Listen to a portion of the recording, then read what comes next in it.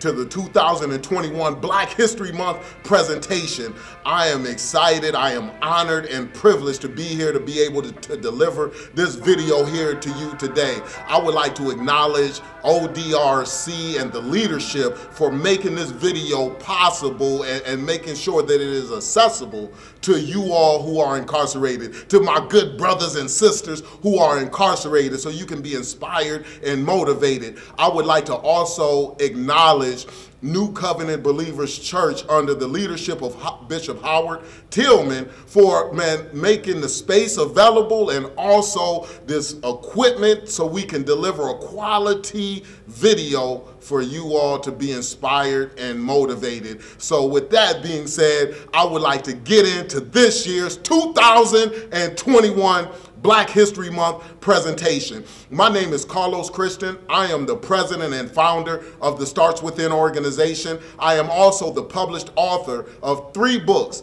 Prison Without Bars, It Starts Within, The Walking Logo, Taking Back My Life, Volume 2, and also The Greatest Responsibility, Becoming the Parent your child deserves. I am also a proud father, and, and life is good, but also on top of all of that, right, I have been home for 13 and a half years. That means that I have overcame the prison system and, and overcame recidivism by not getting reincarcerated. That means that I served 10 years in prison from 19 years old to 29 years old. And I have been home to be able to see life on a whole nother level. And, I, and that's why I'm always excited to be able to shed that light inside of the prison so people can see that it is possible. And that's what it's all about. When we look at history, we look at history for a particular reason. So we can be inspired and motivated and also to understand that it is possible and we can get it done too. If we have seen other people be able to overcome challenging times and challenging situations, then that is an indicator that we can overcome challenging times and challenging situations as well. And that's what we should do with our history. We should use our history and not abuse our history, right? We should use it. We should say, man, you know what? I'm going to take from that history and I'm going to add it to my today so I can make my tomorrow great. And I'm so intentional and focused on that. But in order to do that, what I've understood is that you got to have a serious mind. If you don't have a serious mind, then guess what? It's not going to get done. You got to be intentional and deliberate about what you are doing in life in order to be able to overcome these challenging times that we are facing. 2020 has been difficult for a lot of families, a lot of people. It's been a lot of losses in 2020. But guess what? It's something that is there that we can overcome as long as we have the mind to do it. That is the greatest gift that we have been given is the mind. God has given us a mind to be able to overcome all things if we utilize it in the right way. And that's what it's about, right? But you got to be serious. If you're not serious, you can can it. You can't be playing around. If you are playing around, then people will get hurt. You will get hurt. What have your, your mothers or, or, your, or your fathers told you when you were young and you was playing around in the house? You better quit all that playing, boy, before somebody gets hurt. Absolutely right. And that's why I'm just so focused on having that serious mind. When you look at those historical figures from way back in the days or people who have made a significant impact in history, one thing that we know is that they were serious. They were not playing. They were serious about whatever it was that they were standing for, whether it was injustice, whether it was to be the best basketball player, whether it was to be the best football player, whether it was to be the best artist, whatever it was, they were serious. They had a serious mind, and that's how they were able to get it done. And that's why everybody looks at them right now in, in, in today's time, right? So when we looking at some of the historical figures, I look at the Nelson Mandelas of the world back in South Africa in 1994, becoming the first black president in South Africa, deconstructing the apartheid system. How powerful was that? Apartheid means aparthood, and it meant apartness. So what it was saying is that the people who were non-white in South Africa for over 50 years, it was laws that was put in place that discriminated against everybody who was non-white. That means that if you was non-white and you was in a certain house and you was living there for a couple of decades and it was considered a white zone, it turned into a white zone, guess what happened? They said that you got to get up out of here because now it's a white zone. That means that your rights were not there for you because of the color of your skin back in South Africa. But Nelson Mandela, he said, nope, I'm not about to stand for the injustices. I'm not about to go for it no more. He had a serious mind and he said, man, I'm about to go ahead and get busy. And the brother did what was necessary and he brought his life to the table. That brother spoke to the judge when he was doing five years already in, pre, in prison he was doing five years in prison already, and he had got brought up on some additional charges for sabotage. And, and he said he looked at the judge, which was punishable by death. He looked at the judge and he says, Man, hey, I fought against white domination and I fought against black domination. That brother told the judge this, and then he said that, man, you know what? Hey, man, it is something that I believe in, I'm willing to die for. Period. He told the judge that. He was serious about what he believed in and what he stood on. And because he was serious, right, the brother got life in prison.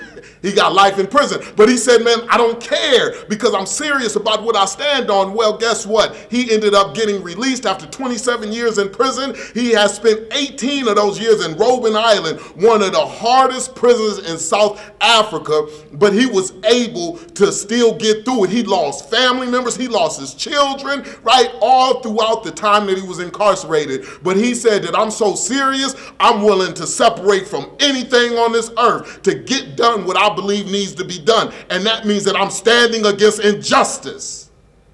That is powerful. That's a serious mind. And that's the type of mind that we got to take on in order to be able to overcome the challenges that we face. 2020 was a difficult year for everybody. But guess what? If you got the mind, you'll be able to overcome that difficult year. You'll be able to overcome the challenges and the adversity that faces us in the world today. So then that's what it's all about is establishing that mind that we need to have to be able to overcome that that. See, I did 10 years in prison, right? And I was able to overcome 10 years in prison. Why? Because I established the mind to overcome 10 years in prison. I over I overcame the, the, the mind that got me incarcerated. Meaning to say, man, you know what? I started selling drugs at 13 years old. I got hit at 19 years old because I had adopted a philosophy that was not going to get me my best life. It got me 10 years in prison. So what was the trick? The trick was what? Was saying, man, you know what? I got to shift in the way that I'm thinking. Because if I produce a mind that thinks on another level, then I will be able to live on another level. I will be able to see a heaven on earth that I desire. And that is all that we are ever going for. We just want some peace. How are we going to achieve peace? The way that we achieve peace in our life is if we have a serious mind to go after it. But if you have a playful mind, guess what? peace will continue to elude you. And that's what it's all about. If you want to be somebody that's going to make a significant impact in your family life, if you want to be somebody that's going to make a significant impact in your children's lives, then guess what you got to do? You got to have a serious mind to be focused on it and get it done. But if you have a playful mind, that will elude you. You will not be significant in their lives. That's what it's about. That's what history has taught me. And that's what I'm getting from history right now. And, and, and that's why I'm just so focused on what I'm doing. I'm crossing my T's, I'm dotting my I's to get it done because it is too serious. Life is serious, and I ain't got no time to be playing around. You are serious to me. I ain't got no time to be playing around. So I said that I got to do whatever I got to do to get this message to you through video. However, I got to get it to you because you are because you are serious to me. I'm serious about you. That's what it's about, right? So, what does that serious mind look like, and how do we develop that serious mind? We got to look at what it is. So, I want to go back and I want to just look at a scripture that that that, that pokes out to me, and and that scripture is, as a child, I I spake as a child, I thought as a child, I understood as a child. But as a man, when I became a man, I put away childish things, right? It didn't say that childish things just went away. It said that I had to put those childish things away because if I don't put those childish things away, then what will happen is that they will surface in my adulthood. And if I am running around as an adult and I got childish behavior, then guess what is going to happen? I'm going to be stripped from, from the quality of my life because I am operating in a behavior that is fit for a child. So I I got to put away my childish behaviors. And this is the challenge that we face as adults is that we are walking around as adults and we are behaving like children. Your childish behavior will not just go away. It is work that has to be done to intentionally and deliberately put away your childish behavior. If you don't put away your childish behavior, it will continue to surface in your life and it will take the quality of your life with it. Your childish behavior is fit when? When you are a child. That's when it is acceptable, but it is no longer acceptable when you become an adult. That's why I say, man, children are a blessing from God. Why is that? Because when I look at my children, I say, you know what? Hold up. You got that behavior, I cannot have the same behavior that you got. If, if that is your behavior that you are running around here with as a child, that is an indicator that it is behavior that I shouldn't be running around with. That's why children, they give the community and, and society so much. They are a blessing because not only do we help them develop, but they also help us develop. They help me become a better man. When I'm parenting my children, they are helping me to become the man that I should be so I can live a life that is designed for me to live. So I look at my children as what? I look at them as a necessity for my evolution. Wow. When I was a child, I spake as a child. I understood as a child. I thought as a child. But when I became a man, I put away childish things. I put them away. That's what we're going to focus on today. And the title of this presentation for 2021 Black History Month presentation is what? No kidding around. It ain't no kidding around. Why? Because this is some serious business right now. 2020 has taught you, man, there's some serious business going on right now. And we got to be serious. That's what it's about, right? So let's look at some of the childish behaviors that can creep up into our adulthood and let's work on getting rid of them, right? We got to get rid of them. Just because they are there does not mean that we cannot get rid of them. So I want you to be encouraged to understand that, man, you know what? I identified those childish behaviors. Now I'm going to do what is necessary to remove them from my life because it will take from the quality of my life. I cannot go into 2021 with this childish behavior any longer. It it stops right now. I understand that one word can change the direction of a person's life. And let this word be the word that can change the direction of your life. Childish behavior number one. Childish behavior number one is that a lot of times is just having the propensity to focus on what other people have and what other people are doing. This is a childish behavior that will put you in a bad place. I'm gonna give you an example. My daughter, she goes to the store and she says, you know what, I want those right there. I want those Skittles right there. And then my son, he says, man, you know what, I want the Jolly Ranchers, right? And then when we go back to the house and we get ready for movie night, got the popcorn pop, ready to rock and roll, right? My daughter looks at my son and she forgets about what she got at the store, but now she wants the Jolly Ranchers. Wow, she's no longer focused on what she got. She's focused on what her brother has, right? And this puts her in, in, in a bad place because she gets to crying. Man, I want I want them Jolly Ranchers. I say, daughter, but you got your your dang on you, you got your candy that you got that you chose. But now when we get to the house, now you want what your brother has. What I've realized with my daughter, and she's five years old, right? So it's acceptable. And I explain to her as we continue to move along and she increases in age. But I say, you know, daughter, man, you got to focus on what you got, right? You know, enjoy your candy.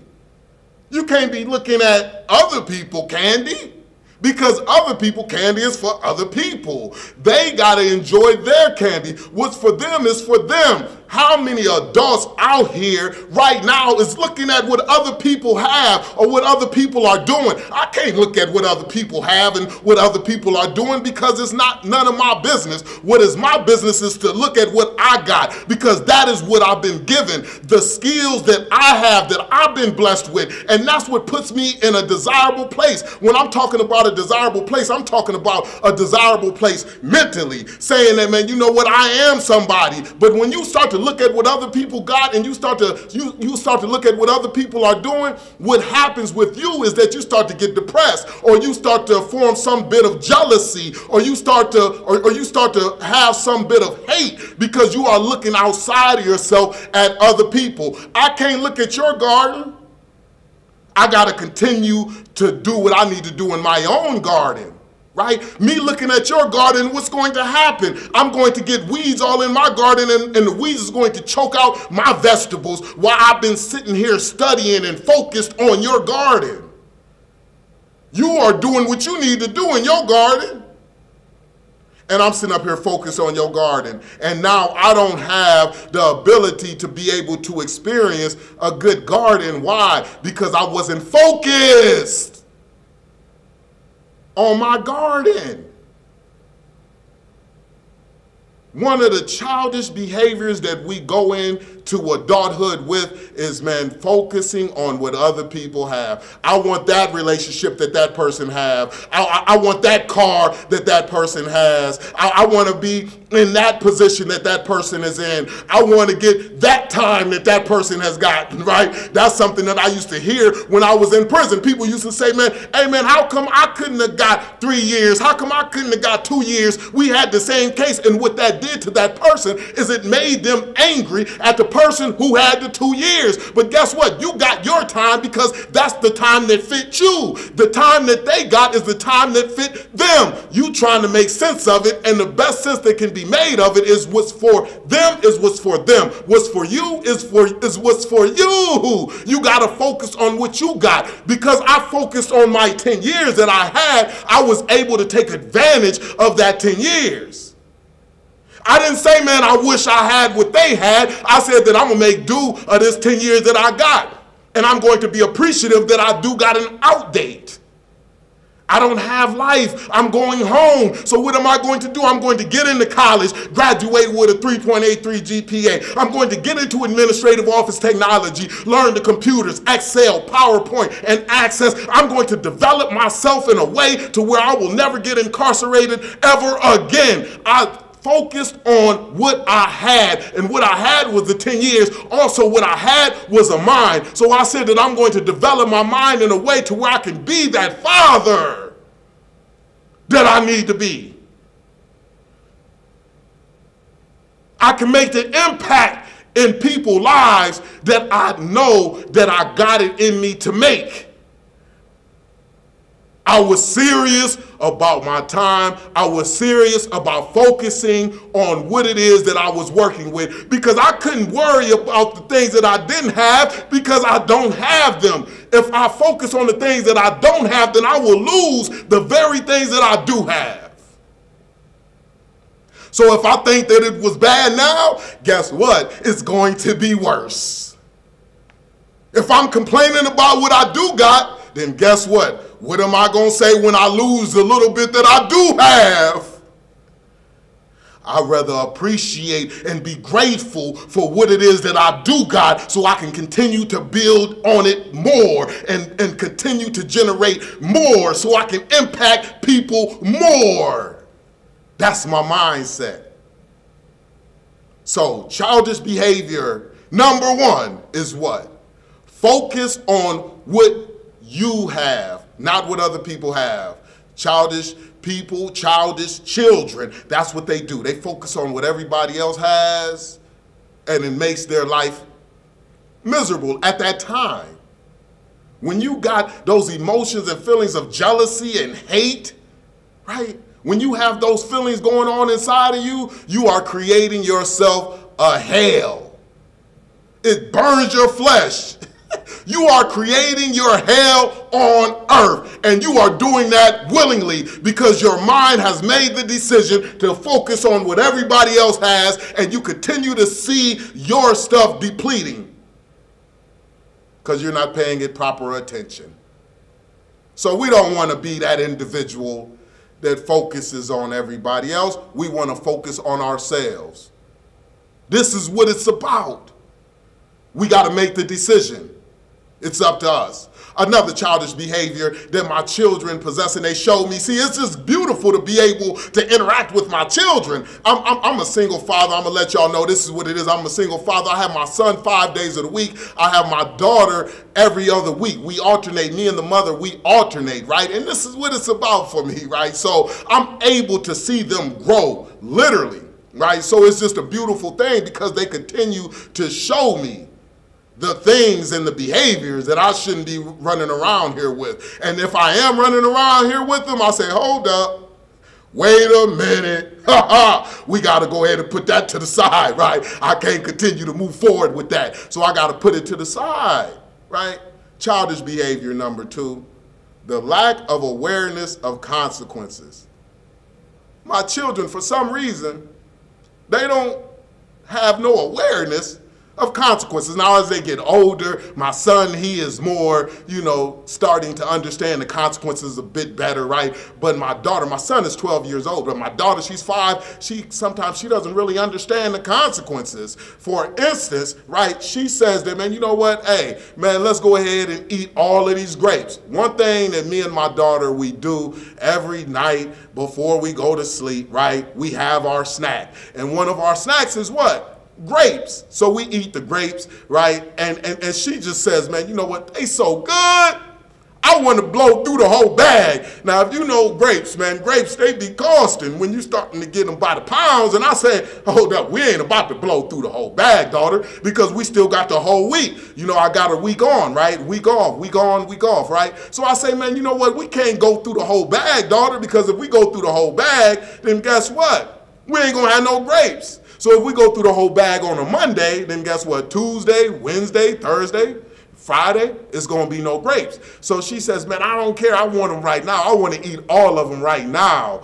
And, and, and, and one of the times I said, man, you know what? I'm going to go ahead and give you that. And then I'm going to show you the consequences from that. So it's like, man, go ahead, and eat them all. So then when Wednesday come, right? There's no grapes. And she says, Where's the grapes, Dad? We need to do the grapes. I say, Man, this is the consequence for going through the grapes like that. You wanted to eat them all. So, hey, guess what? There are no more. And she thought in her mind, you should be able to go to the store and get some more. They still sell them at the store, Dad. I say, man, listen, man, just because I can go to the store and get them don't mean that my budget is set up that way to go ahead and purchase them again and again. It's no bottomless pit here, right? So then when she understood that, she was like, man, this stuff sucks, right?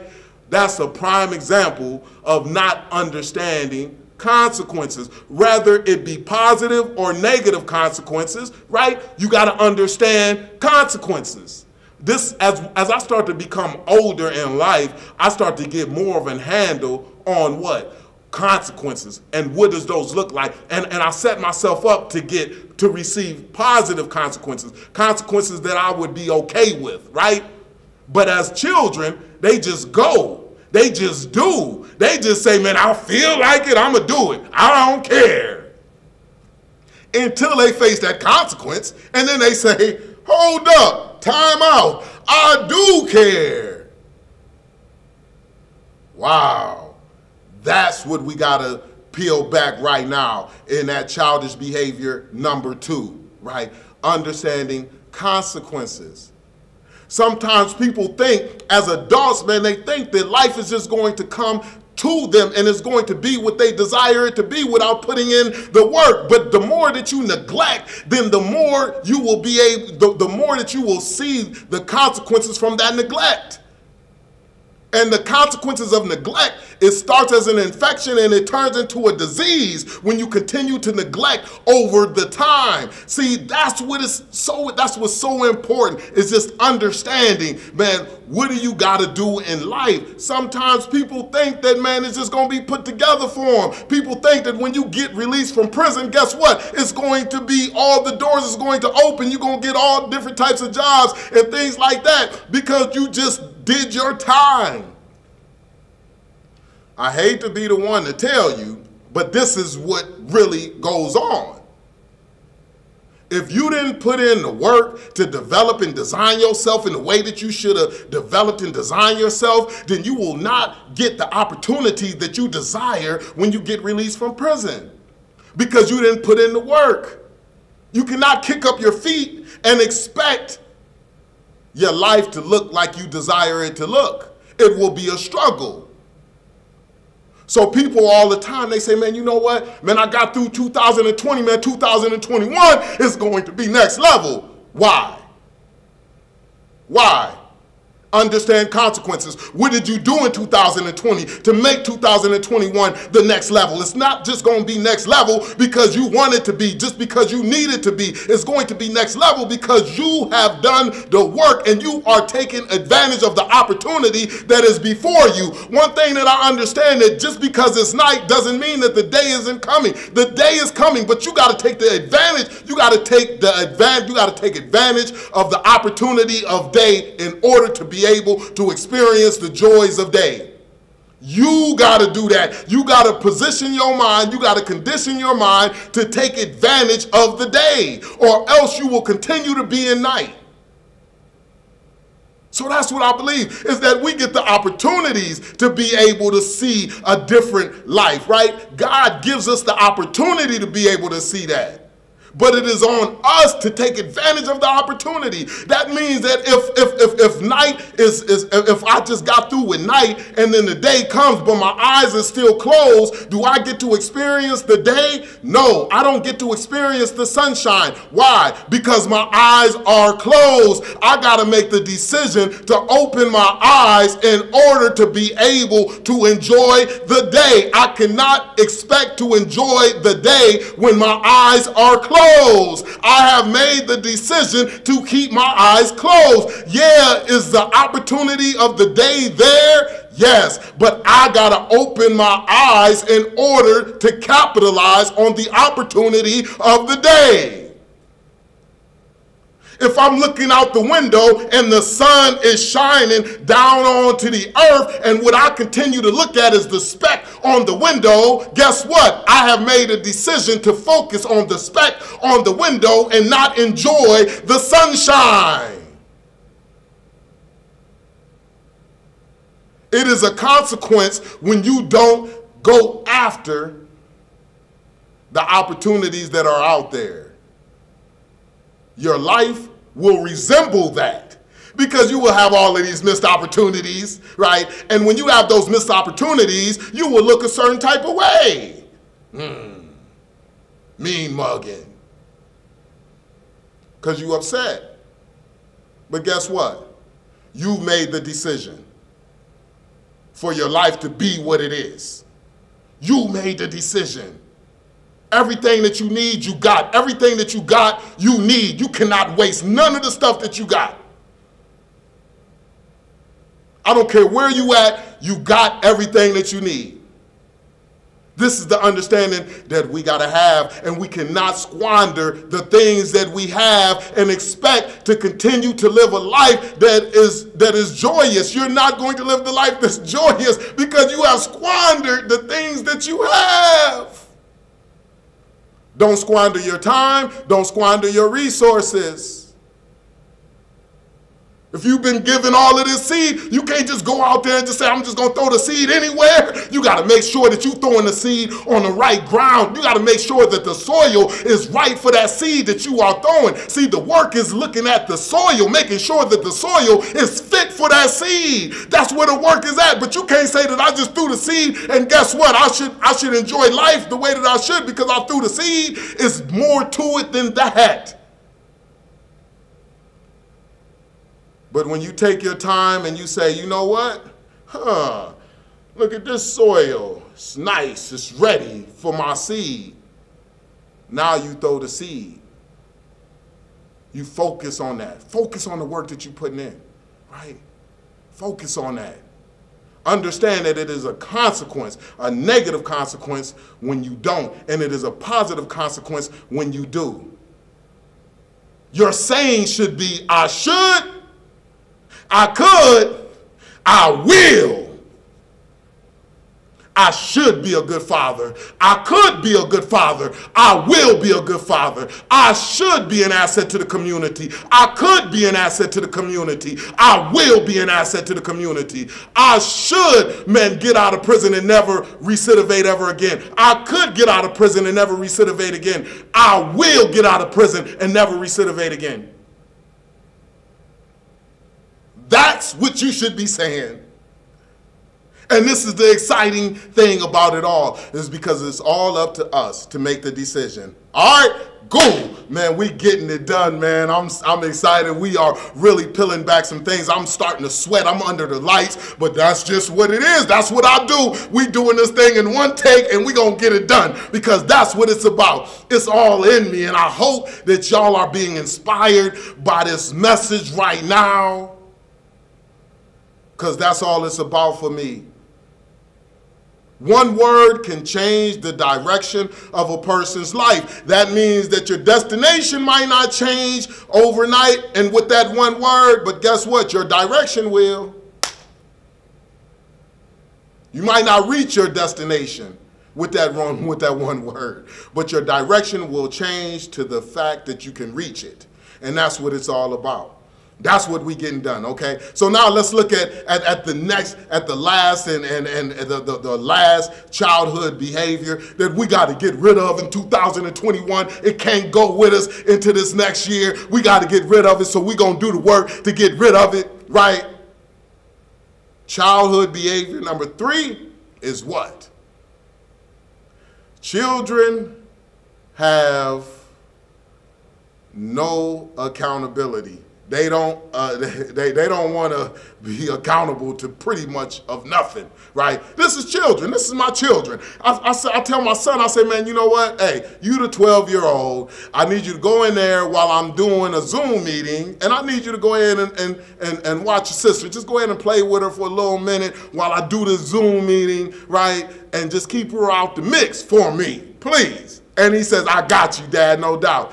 And when he comes out and, and, and she comes out the room and she says, man, dad, man, man, you know, and I'm all in the Zoom meeting. I'm trying to do my job. I say, son, man, we all together. This is a team, man. I say, what's going on? She, he say, he say, man, man, she, man, she, man, she just want to play with the basketball hoop right now because I got him a basketball hoop in his room over the door it ain't the hanger like y'all thinking, like we used to do with the hanger and the sock rolled up. It's not that, right? It's an official basketball hoop that you can go ahead and dunk on and everything that you can hang over the door. Got it for him for Christmas, so he be he he be he be playing with that a lot. So his sister likes to play with it as well my son comes out telling me, and she's all, man, all riled up and, ah, I can't play. He won't let me play. And I said, son, what's going on, man? I, I thought I asked you to take care of your sister, you know, while I'm doing the Zoom meeting. And he comes back to me and he says, Man, dad, man, she just, man, out of control. You know, and he was coming with all of the reasons, right? Man, she's just out of control, man. She won't be patient. I say, Man, she won't be patient. What do you mean? He said, man, you know, I got this game that I got to finish, man. It's going to take about like 10, 15 minutes for me to finish it. And she can be patient and just sit and sit on the sidelines while we in the room. And I say, son, you think a five-year-old is going to be patient? A five-year-old patient to play while she just watches you play and she wants to play too? And, and, and what he was saying, man, but dad, man, I'm telling you, man, I would have had her, I would have kept her in the room and she would have just I say, man, listen, reasons and results. And reasons don't matter. Only thing that matters is results, accountability. That means to say, man, you know what, dad, man, I ain't get the job done. Just being honest and say, man, you know what, I didn't get the job done. Accountability is the best thing that you can do as an adult. You got to be accountable. You got to claim everything that you have in your life right now. You got to say, man, I, am the one that created this hell right now. I, have done that. I, I've created this hell. I got to admit it. I got to admit it the way that I go about things, the way that I try to misuse and abuse people, guess what? I've created a certain level of hell for myself. The way that I don't be impeccable with my word, I'm lying and all of that, I've created a certain level of hell for myself. You, you got to claim that. You got to be accountable. You got to say, man, you know what? I'm being late too much to work. And that's why I got fired. Not sitting up there saying, man, I got fired because they don't like me and because of what they do. It's saying, man, what did I do to create this result? Accountability. If you're going to have a serious mind, you got to be accountable. That means that if somebody don't get a proper understanding from what I just said, then I go back to what I did and how did I deliver the message? Did I labor the words in the correct way to present a, a perfect message, to get an understanding? And if I didn't, then I go back and I try to evaluate how did I do that message? If it's a conflict between me and somebody, I say, man, hold up. Let me think about what did I do to prevent a proper understanding. And when I go back and I say, hold up, I made an assumption. I didn't really say everything that I needed to say for you to have the proper understanding. I just assumed that you knew. I just assumed that you were going to do. And because I assumed that you knew or assumed that you were going to do, guess what? It caused a, a disconnection, a misunderstanding. And I got to take that on. I got to say, man, you know what? That's on me. I can't be mad at you because I didn't do the work that was necessary to be able to get the understanding that was needed between you and I. Accountability.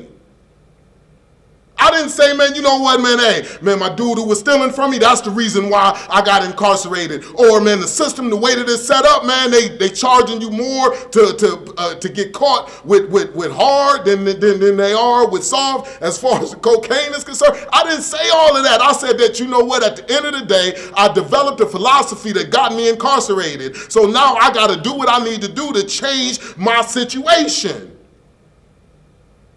If I got me incarcerated, then surely I can develop a mind with the opportunities that are out there, the information that is out there, surely I can develop a mind that's going to prevent me from getting incarcerated ever again.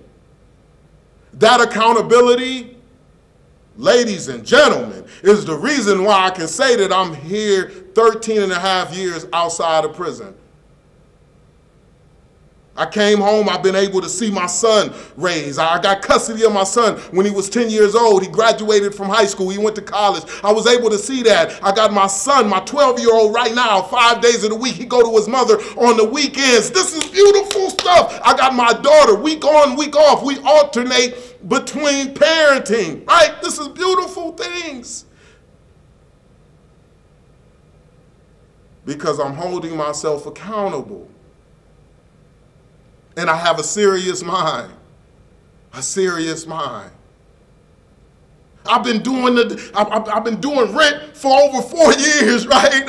After divorce, the, the divorce came and I, I, wasn't able to be able to keep the house. My ex-wife kept the house. Guess what? I went into a condo. I rented the condo for four years. In 2020, I was able to close on my house in April, in the middle of the pandemic.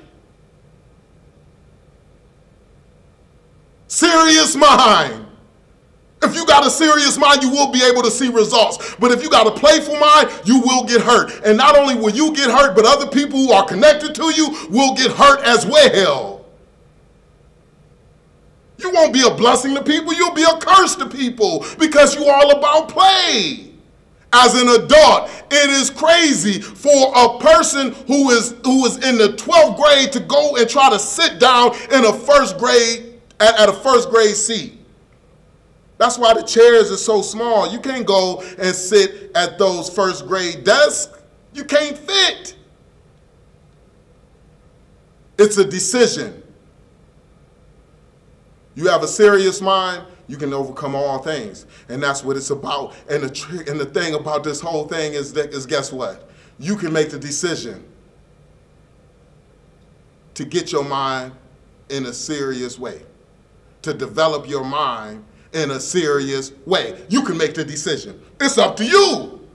Nobody can stop you from doing it. You just got to say, I want my mind to be serious and I'm going to do what's necessary because I'm an adult and I need to have a serious mind as an adult. It's not saying that you don't you, you can't crack jokes. It's not saying you can't laugh. I laugh, I kick it, I crack jokes, I go to comedy shows, I do all of that. But even when I'm doing that, I'm serious. I'm serious about my laughter. I need to get some real live laughter in my life. So I'll be serious about that. I'm serious about my laughter.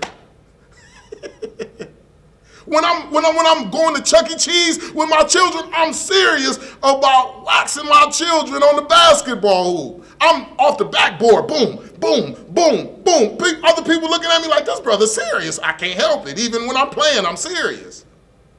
I can't help it. it's a serious mind. It's a serious mind. So I want you all out there to be encouraged, to understand that, that, that when you are serious and you put away those childish behaviors, you'll be able to experience life on a whole nother level.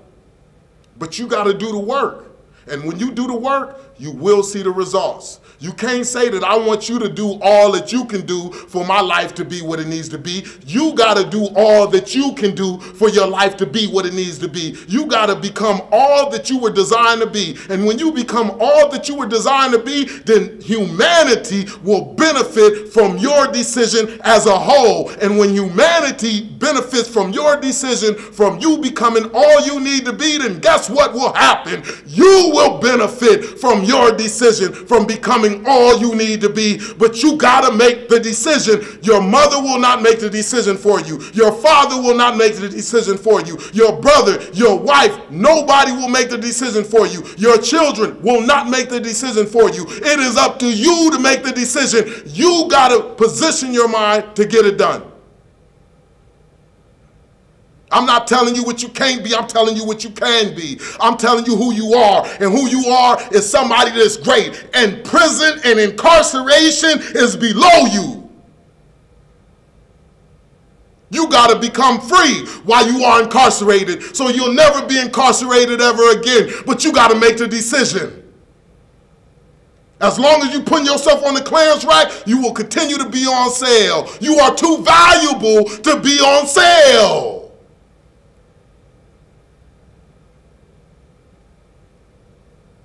Because if you are on sale, you will teach your children how to grow up and become adults who are also on sale. The decision is yours. Woo! I feel like Ric Flair up in this puppy because this is what it's about. I'm fired up. I'm fired up. And I want this to go out to y'all and fire y'all up to as well and let y'all know, man, listen, we can overcome this thing. And the way that we're going to overcome this thing is by having a serious mind, putting away childish behavior. When I was a child, I spake as a child. I understood as a child. I thought as a child. But when I became a man, I put away childish things. Put them away. And that's what it's about.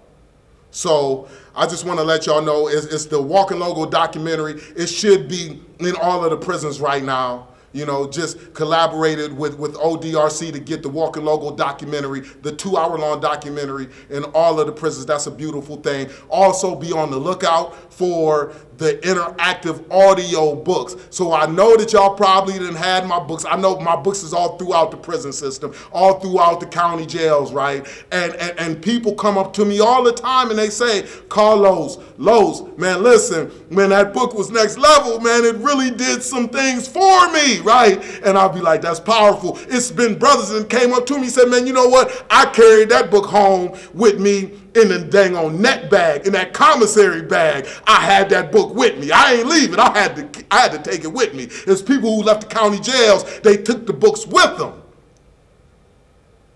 Prison Without Bars, it starts within, the walking logo, Taking Back My Life, Volume 2, and also the greatest responsibility, becoming the parent your child deserves. But guess what's happening now, right? Because it's just more ideas that get downloaded into me and I'm excited to introduce the interactive audio books, right? And what that means is that I'm going to be on video just like this and I'm going to read the books but I'm gonna be in different type of environments and things like that. I'm gonna be at my house, I'm gonna be on the deck at my house and things like that, and I'm going to read the book, and then after that, I'm going to read part of the book and I'm going to put a, put a marker in it and I'm going to talk about what it is that I read.